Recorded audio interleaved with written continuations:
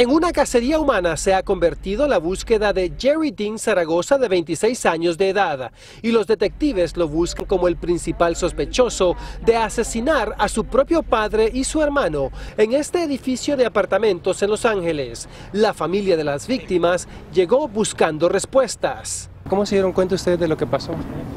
Por mi hijo que vio las noticias, pero en realidad no sabemos nada, estamos impactados, no sabemos nada.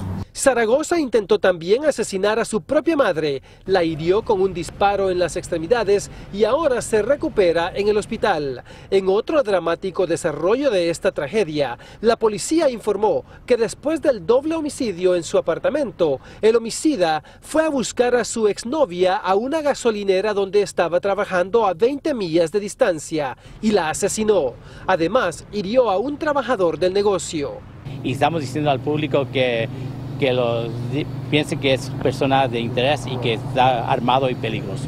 Todo el vecindario está en máxima alerta. Jerry Dean sigue prófugo, pero los investigadores creen que se encuentra escondido en el área, mientras que en el edificio donde vivía la familia temen que el presunto asesino quiera regresar a casa. Que pueda volver a venir y hacer otro o matar, ajá, o matar a su mamá. Es lo que yo tengo pendiente también y tenemos pendiente porque nosotros somos vecinos de enseguida. Una de sus víctimas fue identificado como Carlos Zaragoza de 50 años de edad y su hijo de 20 del mismo nombre. Lo que no está claro es el motivo de los asesinatos. La policía espera capturar al presunto homicida antes de que lastime a alguien más. En Los Ángeles, California, Salvador Durán. Primer impacto.